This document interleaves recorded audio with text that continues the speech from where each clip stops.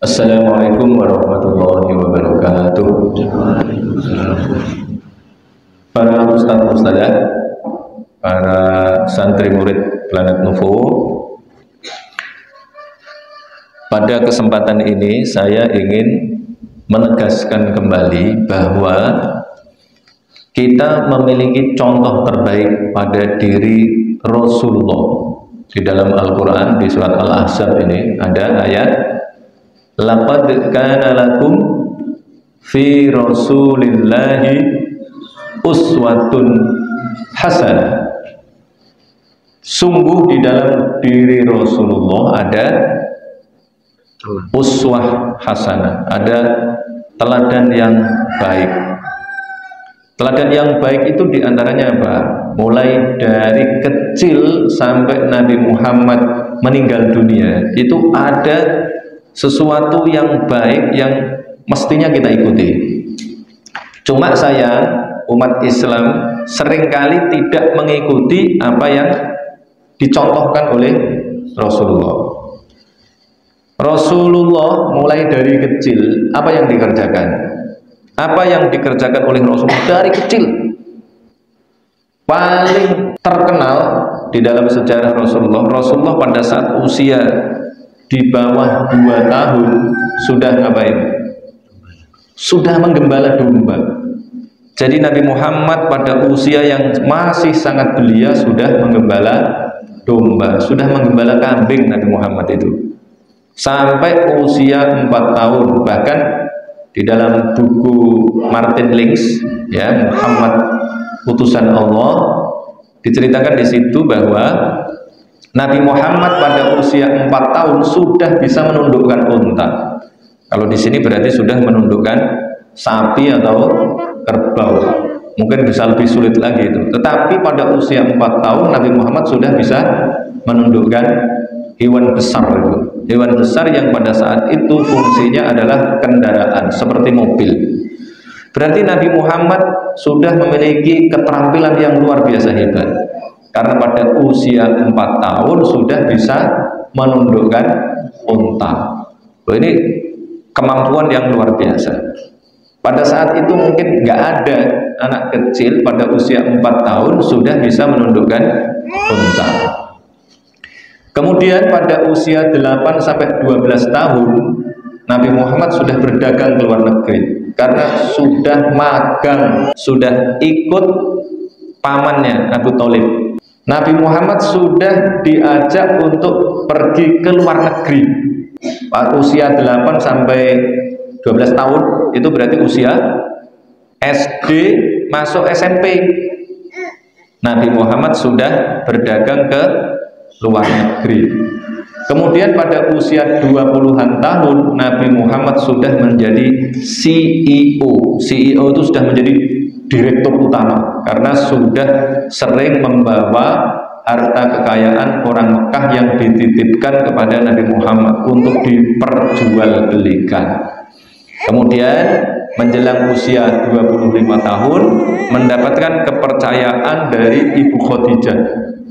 Uangnya banyak diberikan kepada Nabi Muhammad dan saya duga kuat bahwa Ibu Khadijah menyerahkan uangnya ini dalam rangka untuk mengetes Nabi Muhammad ini calon nabi beneran atau tidak. Kalau calon nabi uangnya akan selamat tetapi kalau bukan calon nabi uangnya akan hilang karena akan dimakan oleh Nabi Muhammad. Tetapi ternyata tidak. Ternyata uangnya selamat bahkan kembali dengan keuntungan yang luar biasa besar.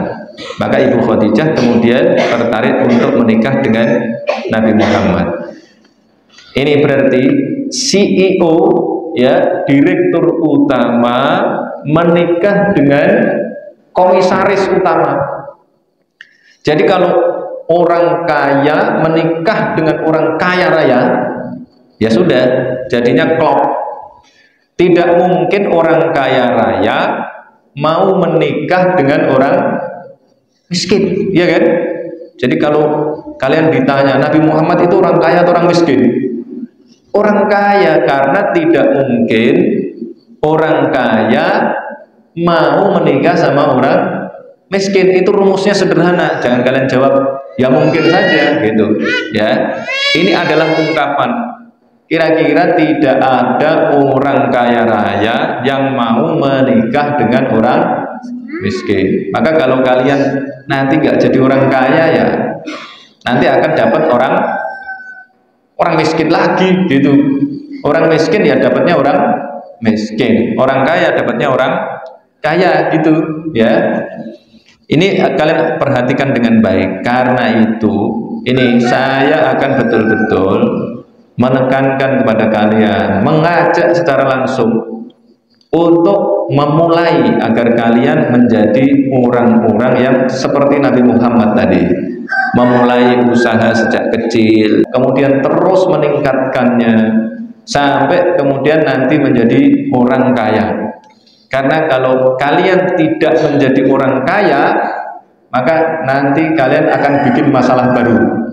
Masalahnya apa? Masalahnya kalian ini adalah santri, nanti kalian pasti akan menjadi ustadz, menjadi guru insya Allah akan mengajarkan agama tetapi kalau kalian tidak punya uang, kalau kalian nanti mengajarkan agama, kalian akan berharap dikasih uang.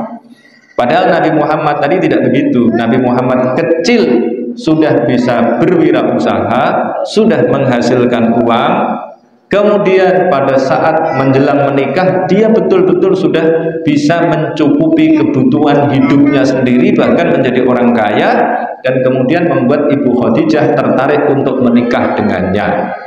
Kemudian pada usia 40 tahun, Nabi Muhammad menjadi rasul, diangkat menjadi nabi dan rasul. Nabi dan rasul itu berarti harus menyampaikan ajarannya. Nabi Muhammad tidak pernah minta bayaran. Ya.